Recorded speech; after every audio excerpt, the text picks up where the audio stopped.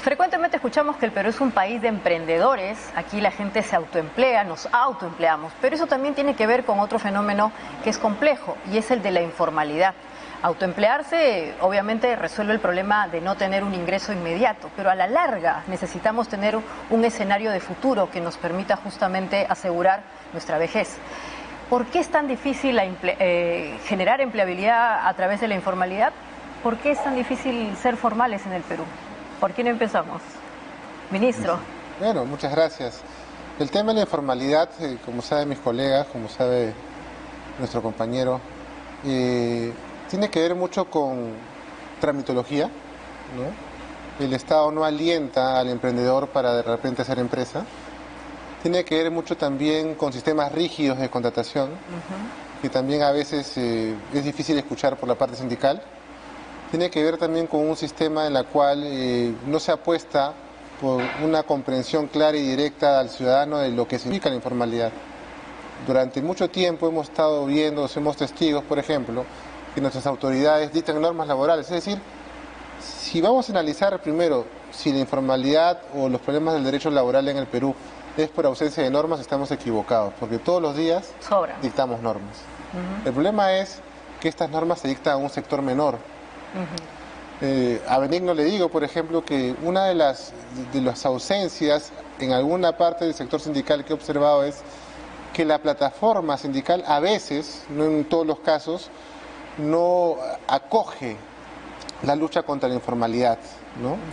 Eh, el sindicalismo, la academia, incluso las mismas empresas tienen que ser actores que, que vean que el concepto más importante por desterrar es la informalidad.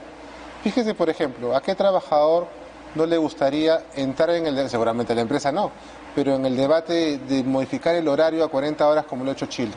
Mm. ¿no? Pero permítame, vamos a preguntarle al señor Benigno porque lo ha aludido usted no, directamente. No, solo termino con esto para que diga, ¿no?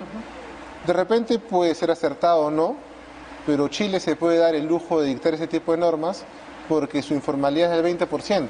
Claro. Entonces un 80% del mercado formal le permite arriesgarse a ciertos cambios y nosotros no, porque seguimos con una informalidad donde los beneficios son para pocos. ¿no? A ver, señor Benigno, ¿es verdad lo que nos está diciendo el ministro? En principio, este, quiero precisar la concepción que tenemos en la Confederación de Trabajadores del Perú. Nosotros hemos trabajado estos últimos cinco años mucho con un sector que está abandonado, que son las MIPES. Para conocimiento de ustedes, son 2.700.000 MIPES que hay que da puesto de trabajo a 11 millones o 12 millones de peruanos. Totalmente abandonado por los gobiernos de turno, sobre todo los cuatro últimos.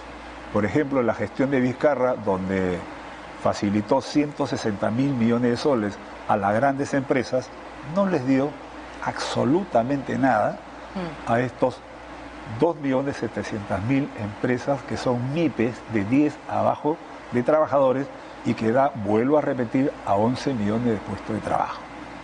Falta de qué? De interés y de normas.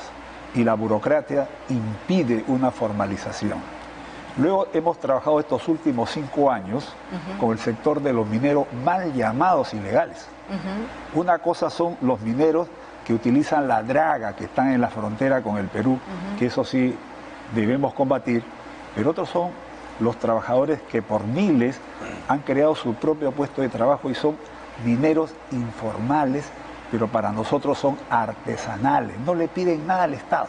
Sin embargo, se le impide su formalización por la burocracia y de repente también por algunos intereses de la gran minería.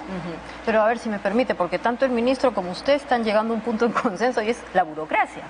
O sea, parece que hay muchas leyes, pero no son las suficientes o eventualmente no permiten agilizar el mercado. hay un problema de sobrecostos laborales. A ver, ese es uno.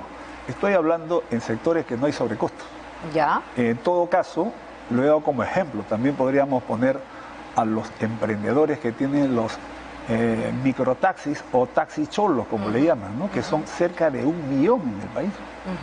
Estoy hablando de los pescadores artesanales donde yo provengo, que son miles y miles de artesadores artesanales que no lo formalizan. ¿Por qué?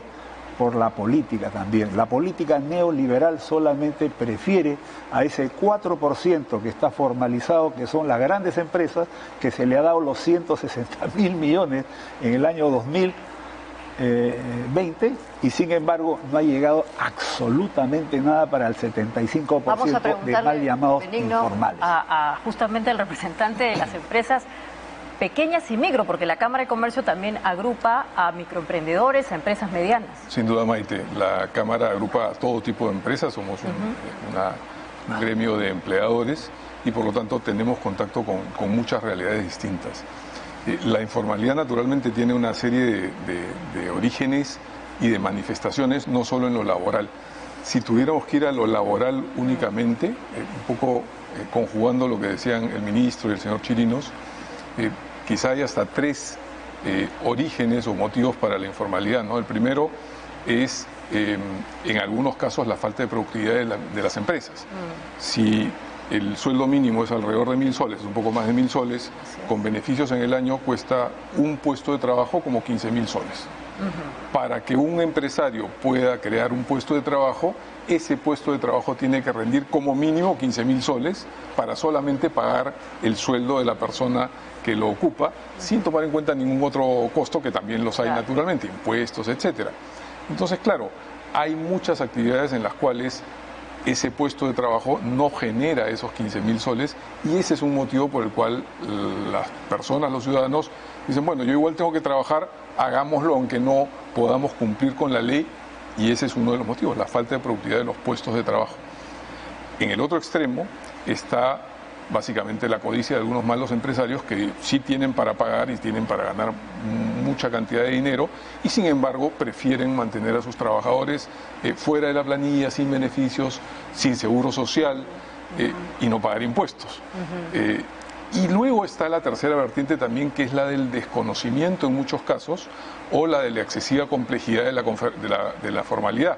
Y es que hay empresas que quieren hacer bien las cosas y sin embargo se encuentran pues con una serie de requisitos eh, no solamente municipales, no solamente regulatorios, sino también laborales. La cantidad de documentos que tiene que tener un empresario, incluso pequeño, hoy solamente para cumplir las formas legales es, es inmensa, en, seguridad y salud, en remuneraciones, hay una serie de obligaciones que se han ido agregando en el tiempo.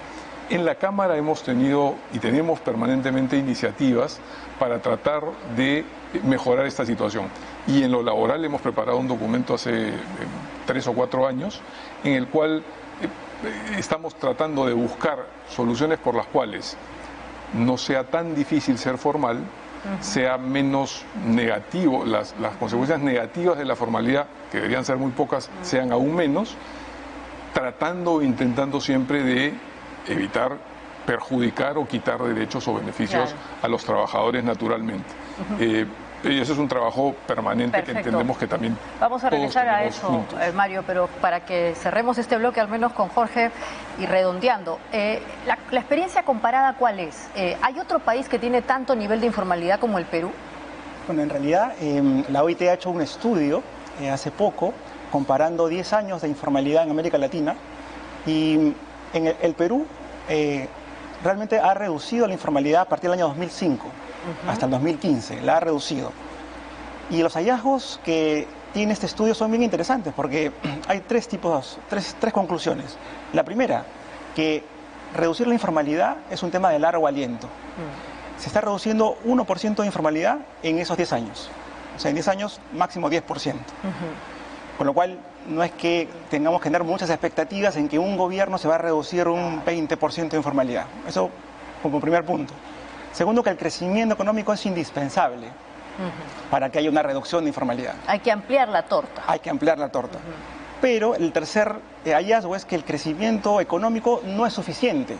Es una base, pero hay que adoptar otro tipo de medidas. Justo las que comentaba el ministro, Mario, Benigno. Perfecto, bueno, los vamos a dejar ahí, vamos a volver después del corte con este diálogo tan interesante para ver exactamente qué pasa con otro fenómeno que también está vinculado al Perú, la inmigración. Si no hay trabajo suficiente para los peruanos, ¿qué va a pasar con esos ciudadanos que ya son parte de esta nación? No se vayan, volvemos a pensar.